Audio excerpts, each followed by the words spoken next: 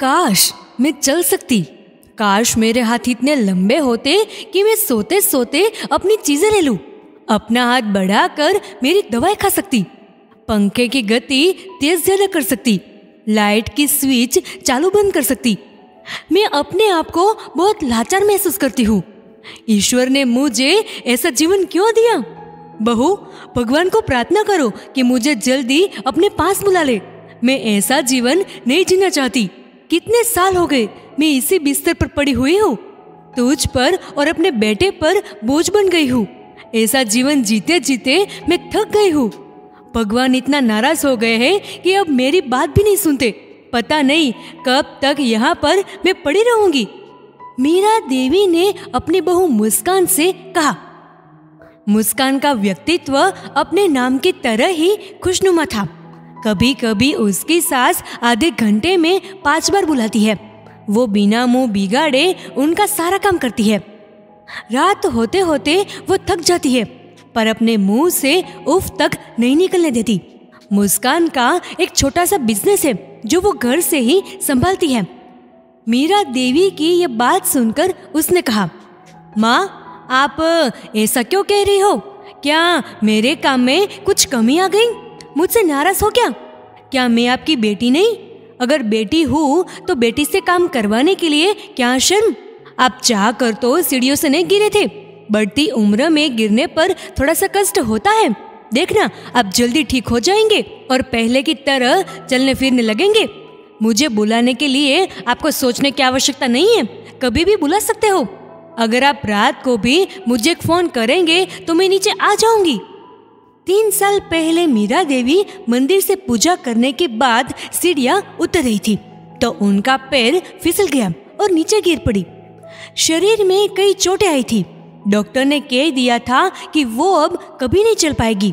फिर भी मुस्कान उन्हें विश्वास दिलाती रहती थी कि एक दिन वो चल पाएँगे।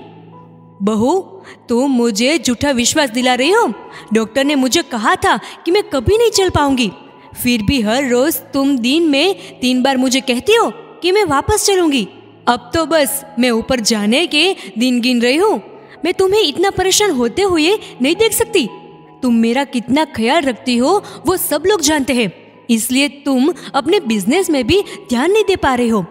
मुझे बहुत बुरा लग रहा है। तुम किस मिट्टी की बनी हो? आजकल कोई भी लड़की अपने सास ससुर की सेवा नहीं करती है। वो अपने सास ससुर की आवाज़ सुनना तो दूर उनको देखती भी नहीं है।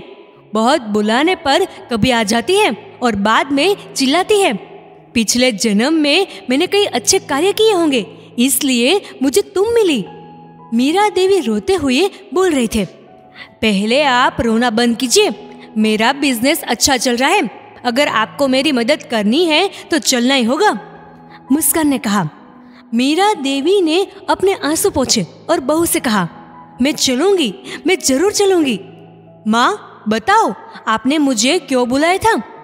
मुस्कान ने पूछा, आज मुझे ठंड लग रही है, पंखा थोड़ा सा कम कर दो और मुझे ब्लैंकेट दे दो।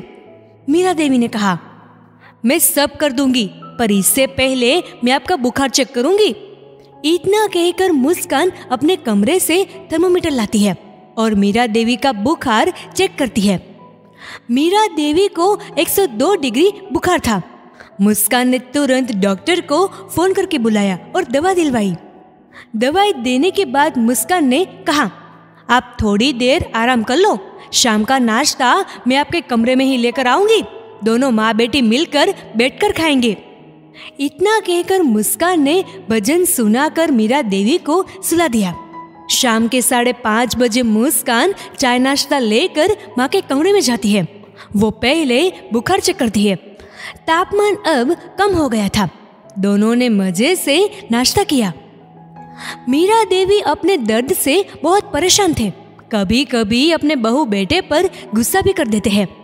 बहू बेटे ने कभी भी कोई शिकायत नहीं की, क्योंकि वो अपनी माँ का दर्द समझते थे। मीरा देवी का बड़ा बेटा मोहित दूसरे शहर में रहता है। पत्नी का मिजाज गर्म था, इसलिए घर का माहौल खराब हो रहा था, क्योंकि वो अपनी सास की ज़िम्मेदारी नहीं लेना चाहती थी, आज़ादी से घूमना चाहती थी। बड़ी बहू के कारण घर का माहौल बिगड़ रहा था, इसलिए बेटे की शादी बचाने के लिए मीरा देवी ने खुद उन लोगों को अलग रहने के लिए कह दिया। मीरा देवी का छोटा बेटा मोहन जिसका पार्टनरशिप में तेल का होलसेल का बिज़नेस था, पर समय का चक्र कि उसके पार्टनर ने मोहन को धोखा दिया और सारा बिज़नेस अपने नाम कर लिया। मोहन अब सोच रहा था कि क्या किया जाए, क्योंकि वो रातों रात सड़क पर आ गया था। मोहन को मुसीबत आने घेर लिया था। पिताजी के इलाज में उसने कई रुपए खर्च कर दिए, पर अपने पिताजी को वो बचा नहीं सका। पत्नी के गेह गहने गिरवी रखा हुआ था। अब मोहन मामूली नौकरी करने लगा था और इसी में घर चल रहा था। एक दिन सुबह सुबह मुस्कान के मोबाइल की घंटी बजी। मुस्कान ने फ़ोन उठाया तो उधर से घबराई हुई आवाज़ में उसके पापा बोले, बेटी, तेरे भाई पवन की टू व्हीलर को किसी कार ने टक्कर मार दी। उसके एक पैर में गंभीर चोट आई है। डॉक्टर ने बताया है कि उसे ठीक होने में दो से तीन महीने लगेंगे। पैरों में रुड़ भी लगानी पड़ सकती है। लाख रुपए तक का खर्चा आएगा। मुस्कान का भाई फैक्ट्री में काम करता था। उस फैक्ट्री के मालिक ने उसे एडवांस नहीं दिया। पापा ने मुस्कान से कहा, मेरे पास एक भी रुपये नहीं है। जितने रुपए थे, तेरी माँ के इलाज में चले गए। एक काम करता हूँ, अपनी दुकान को गिरवी रख देता हूँ। मुस्कान रोते हुए बोली, पापा, मेरे ससुराल की स्थिति आप जानते हो ना? काश मैं आपकी मदद कर सकती। मेरी हालत ऐसी नहीं है कि मैं आपकी कोई मदद कर पाऊँ। और अभी तो इतनी इनकम भी नहीं है कि कुछ बचा सकूँ। मुस्कान की सास सब सुन रही थी। उन्होंने मुस्कान को इशारे से कहा कि वो बात करेंगी। मीरा देवी ने कहा समझी जी, आप पैसे की चिंता मत करना। पवन का इलाज अच्छे अस्पताल में करवाइए। कल मैं अपने बहू बेटे को आपके पास रुपए लेकर भेज दूँगी। पैसे का इंतज़ाम हो गया है। माँ जी पैसे का इंतज़ाम कैसे होगा? इनके पास इतने पैसे नहीं है। वे इतने पैसे कहाँ से लाएँगे? मीरा देवी ने मुस्कान से एक संदूक खुलवाया, जिसमें अपने पति की यादों का पिटारा था। इसमें से सोने की दो बाली और मंगलसूत्र मुस्कान के हाथों में थमा दिया और कहा, बहू, इसे बेच दो और अपने भाई का इलाज करवाओ। मुस्कान रोने लगी। ये पापा जी की निशानी है, मैं इसे कैसे बेच सकती हूँ? तब मीरा देवी ने कहा, मैं तुम्हें अपनी बेटी मानती हूँ, सिर्फ़ कहती नहीं, मानती भी हूँ। इसलिए मैं तुम्हें दुखी नहीं दे सकती। इसलिए मैं तुम्हें दुखी नहीं देख सकती। तुम मेरी कितने सालों से सेवा कर रही हो, मेरी हर ज़रूरत को पूरा करती हो। मैं कभी गुस्से से बोल देती हूँ, पर फिर भी तुम कुछ नहीं कहती हो। मेरा बेटा कभी कभी गुस्सा करता है। तो उसे भी तुम रोक लेती हो।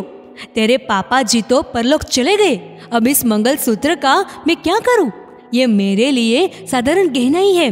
इस मंगल सूत्र के बारे में नहीं, अपने भाई के बारे में सोचो। मेरा आशीर्वाद तेरे भाई के साथ है। वो जल्दी ठीक हो जाएगा। मुस्कान मीरा देवी को गले लगाकर रोने लगी और खुशी के आँसू छलक उठे। बिना कुछ कहे मीरा देवी ने कितना कुछ कर दिया। अगर किसी भी बहू को बेटी जैसा प्यार चाहिए तो उनको भी अपने सास ससुर को माँ बाप मानना ही होगा। उन लोगों के लिए हम जो कुछ भी कर सकते हैं, वो कम है। दोस्तों, इस वीडियो को लेकर आपकी क्या राय है? नीचे कमेंट करके ज़रूर बताएगा। अगर आपको ये वीडियो अच्छा लगा हो तो इस वीडियो को लाइक करिएगा, शेयर करिएगा ज़्यादा से ज़्यादा लोगों तक। और ऐसे और भी इंस्पिरेशनल वीडियोस के लिए सब्सक्राइब करें हमारे यूट्यूब चैनल को और फेसबुक पर फॉलो करें हमारे पेज को। धन्यवाद।